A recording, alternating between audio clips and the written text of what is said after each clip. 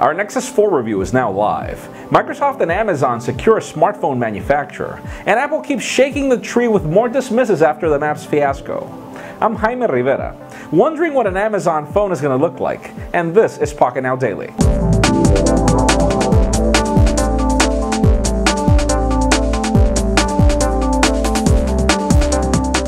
If you're still on the ropes about getting a Nexus 4 this holiday season, that's a bit difficult lately because Google reopened sales for the phone today, and sadly it sold out in just 8 minutes. And yes, I was in line trying to get a phone of myself, but so far our full review of the device is now live, and I'd recommend you watch it fully because even though it is a good phone, it didn't get a great rating, and it's really important that you see why.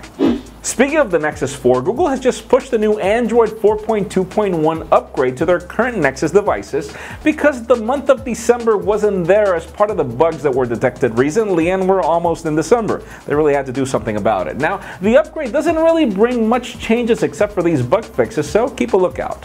If you're still interested on moving into the phablet space, I'd recommend you have a look at Amazon because they currently have the Galaxy Note 2 on discount. For example, on AT&T, they have it down to 175 bucks after a two-year contract, which is down from $300. Now, sadly, the device is currently on back order on both colors, but hey, you can at least secure the price, so have a look.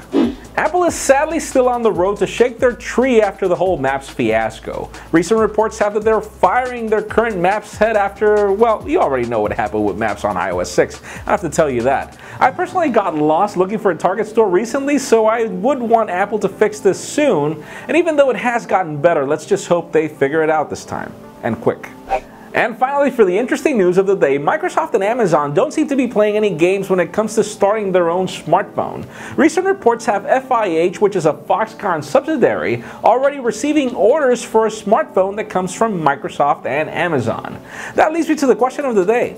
Would you be interested in getting an Amazon smartphone after your experiences with the Kindles? I'd ask the same thing about Microsoft, but you already know what the Surface is like, so leave us a comment down below. Honestly, I would be interested. And if you want an earlier scoop of everything that's happening in the smartphone and tablet world, make sure you follow us on Pocketnow.com. Please give this video a thumbs up if you like what you saw. I'm Jaime Rivera. Thanks for watching.